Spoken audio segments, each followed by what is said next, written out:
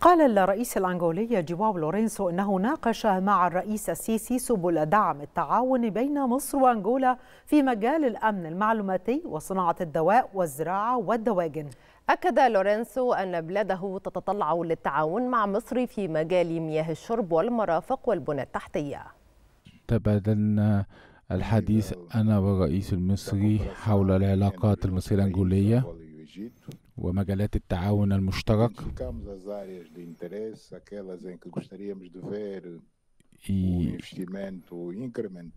وحددنا بعض مجالات التعاون خاصة في مجال الزراعة وتربية الدواجن والسياحة وصناعة الدواء ومجال صناعة الدفاع.